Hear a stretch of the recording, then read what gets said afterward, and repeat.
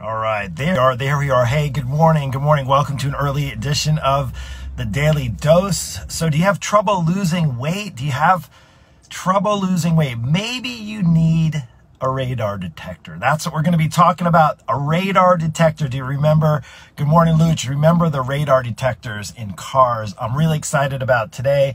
And I apologize if you are coming on at eight o'clock and like, where's your, where's your daily dose? Where's your daily dose? Uh, a little early version this morning. We're about ready to take a little mini road trip. My daughter and I, actually, we haven't done one of these in a while, just with everything that's been going on. But I'm excited because we're going to jump on the road and we're going down uh, about two and a half hours away. And we're looking at, she had saved some money and she's, as you knew, she's 15 permit looking at driving in the next month. Or, her birthday's in June. So looking to drive and she's been saving money and she's looking for a job to work and needing a car to get there, right? So we're looking at an older Jeep and we're a Jeep family. Yes, we're, there's an, there may be another Jeep in our family. Um, but we had looked and we found an old sort of a cream puff. And I wanted to share with you, maybe you're feeling a bit of like a cream puff right now, but not what we're talking about when it, when it comes to cars. Um, and, uh, I wanted to just relate this to maybe your weight loss journey and maybe you're struggling with weight loss right now. Maybe it's something that you feel a little bit like a cream puff the last several months, maybe not served you well. Maybe the last couple of years, maybe the last several years didn't serve you well. So maybe you need a radar detector. Do you remember the radar detectors? You used to put them up and they had different versions and uh, used to drive. And, and I have a really, really, really short story to share with you. Well, maybe, maybe not so short, but it's actually a good one. And I'll never forget my very first car was a, a Jeep. Now it was an old Jeep and I paid for the Jeep myself. It was a 1983. If you like Jeeps, can you just let it drop it down in the chat that you like Jeeps? You think they're cool or you have a Jeep? If you have a Jeep, I want to know my Jeep friends out there. If you've got one, let me know what color it is, what model, what year. That would be awesome. If you're like, no, I don't drive a Jeep. Sorry, we can't be friends anymore. Just kidding.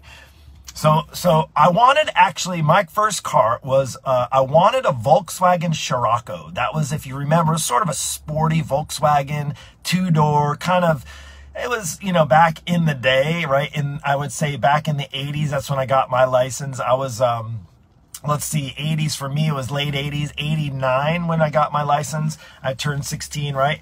And, uh, anyway, so I wanted the Scirocco. My dad and I did a road trip, so to speak, and we went and looked at it, and it had it was a cool looking car, but it had like oil dripping. And my dad was like, "No, you're not buying this car." Now it was my money, but he said, "No, you're not. You're not buying this car."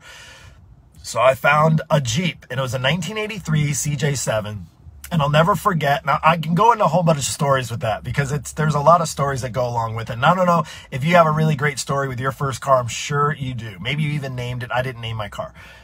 But I do remember the very first, within the first two months, I didn't even have my license for two months.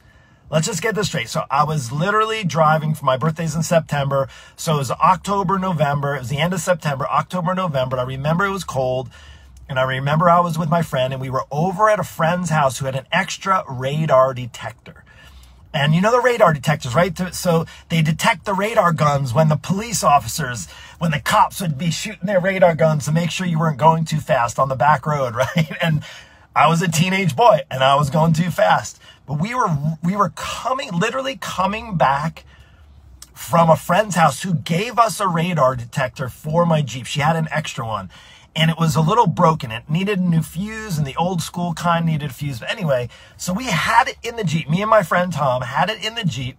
And I'll never forget, it was a night, it was nighttime. We are driving back to his house to go see if we could fix it. We even had like the fuse or whatever had to do. We had to get inside and we were cruising. Like we were just teenagers having some fun and going probably 20, I think I was going maybe 20, 25 miles in a Jeep, old Jeep, stick shift. And I'll never forget going over this hill and then a police officer went over the other side and he put his brakes on and he took his lights, he put his lights on. And guess what? This is the best part of the story. This is the best part of the story. Is my friend who is in the passenger seat, he said, go for it, go for it. He's like, you got this, get out of here. Like, you can't, you know what's going to happen if you get your license taken away right after you get your permanent license. It's going to get taken away, right? When you get your permanent license in New York State at the time, I don't know if it's the same rules, but if you get a moving violation, you get your license suspended. And I'm like, oh my gosh, I'm going to be in so much trouble. But let's go for it. Let's go. We'll ask for forgiveness, not permission. And we took off. And we had him. Like, he had to go, he was over there, he had to turn around and come back, and it was nighttime. We're like, oh, we know these roads real well. So we cut down this is the point. This is what I want to get with you and why it could be very, very helpful for you and your radar detector. We cut down a side road, right? We cut down a side road. Hey, good morning, Kathy. Good morning, Darla. Appreciate you for being here. And Luch, hey, Gail, thank you for being on here. Welcome, welcome. You have to listen to this whole story of my radar detector and my Jeep. If you're catching it now, listen up, pay attention to this. Maybe you want to hear the ending first. So we cut down this road we cut down the side road and he's like, turn off the lights. Go quick, quick, turn off the lights. So I'll never forget. Like I'll remember it. I know the road it was on. I know where I was at and it had a little bit of an incline and I was in a stick shift and we cut off the lights I needed to put on the brakes to make sure the Jeep didn't go backwards down the hill. And the police officer saw the brake lights and he, he cut down the road and he had his lights on. I was like, how did he find us? And I was so dumb. And he saw the brake lights and he said, you guys, he's like, first off, why were you speeding? And I was like, um, I don't know. We were just having fun. And the second thing is he said, you know, I wouldn't have given you a ticket if you didn't take off on me. So needless to say, I got a ticket. I got a ticket, didn't have the radar detector in there. I got a ticket. I was being foolish. I wasn't making wise choices. I went down the side road and I got caught. Like sooner or later, we had been driving for maybe two minutes, two, three, it felt like an hour. Like we were like, oh, we were like the Dukes the Hazzard running from the cops, right? And we went down the side road and it was an it was an, it's not like we were going to run, it wasn't like we were in a Mustang. We were in an old Jeep. The thing had rusted floorboards. I had to use my hand in the windshield wiper because the windshield wiper didn't work. It was a, my dad gave me a tow rope. It was a, it was pretty much a junker car. My first car though, and I paid for it in my own money, just like my daughter's going to be paying for part of it and working for the other part of it if she, in her next first car. So anyway, so I tell you that story. So he gave us the ticket. I got my license suspended. I got it taken away. I forget how many months it was, but it sucked. Uh, fortunately, I was going away to college, so I didn't have to worry about it too much. Why does that matter? Why is it helping you with your weight loss trouble? Well, maybe, just maybe, you need a radar detector a radar detector to maybe maybe your radar detector needs to slap slap you in the face when you reach for the bag of chips in the grocery store before you even bring them home. Maybe that radar detector needs to slap you like instead of beeping, maybe the radar detector needs to slap you in the face. Okay, we're just being light here slap you in the face when you're getting ready in the morning and you're looking at yourself and you're really, really disappointed and sad about the way you look and how you've let yourself go. Maybe that slap is, hey, you're, you are where you're at. Just deal with it and move forward and get yourself and get your life and your health in order, right? Maybe, maybe it's the coach that's saying, hey, you got to keep, you got to stay accountable. You got to check in. You got to do your measurements. You got to take care of yourself because this is the one life. The difference between the car, right? The car and you is you got one of you right? You got one of you. Now, I haven't seen that Jeep because I moved on. I sold the Jeep because it wasn't a good college car. It would have fallen apart in Vermont. So I got a more economical car. And then I've had a handful of cars over the years, not too, too many. And I'm sitting in one right now, right? And we can replace the cars, but you can't replace you. So why maybe, if you're struggling to lose weight, haven't you put a radar detector in? Or maybe you say, yeah, like I think of the radar detector that we had in the, in the Jeep when we were going down this road and we were chased, getting chased by the cops and we took off on the cops and, and we got, we got in trouble. We literally, he caught us. He caught us. I got the ticket. Guess what? I'm, I think I've gotten maybe one or two tickets, not moving violations. One, well, one I was going a little bit fast at a really slow area. It was like a 20 mile an hour speed limit. I think I was going 28, but I learned my lesson. Now, did I need radar detectors in my car? After that, I actually did have them for a while, but then I learned, I developed a better way to drive, a safer way. I got a little bit more mature in my driving habits. I would say I probably drive a little fast now, but I'm also really careful because I don't want to get caught again, right? So my question to you is if you're on a weight loss journey and you're battling and you're struggling, maybe you need a radar detector in your life. Maybe you need, whether it be somebody to slap you in the face. Maybe it's to develop the kind of habits you build and develop your own radar detector to know like, ah, probably if I go, don't go to the grocery store without a list, I might be taking home things that I probably shouldn't have in my home that's going to not serve me or my weight loss efforts very, very well. Maybe it's instead of getting disappointed in the mirror when I get up in the morning is you get up and you go exercise, you get some workout in before, and then even if you look in the mirror, you're going to look at a sweaty face and maybe you still have the 30 pounds on, but you say, you know what? Today I made a move in the right direction, and that's a good thing, and I'm going to start my day with that. I'm going to start my day on a positive note, right? So what is it? I don't know what you need in your life. I don't know what kind of radar detector in that you may or may not need.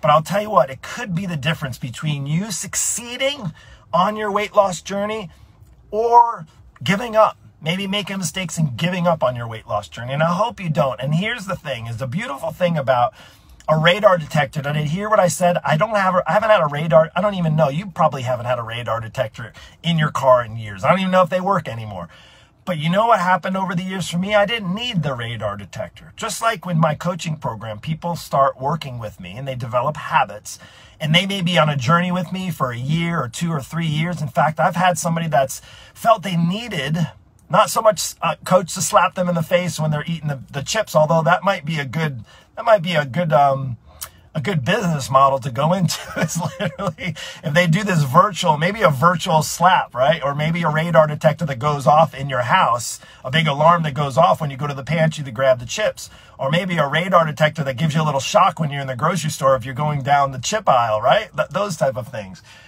But in essence, over time, you start to have that belief that you don't, you're feeling better about yourself. You're getting the weight off. You're getting some results. You're seeing the changes. You're making the decision to change and you're making those habits. And then your belief starts to change. And guess what? Then you don't need a radar detector anymore, right? You start to develop a different path for your life. And that truly is the one that I want for you. Now, how do you get there? There's lots of ways to get there. You can maybe struggle on your own. You can maybe wing it. You can maybe go back on another quick fix. You can maybe go do another cleanse, right? You and I both know those are, it's kind of like, it's kind of like me having a radar detector in my car without it even working, right? Because none of those things work. Neither did the radar detector that I have in my car.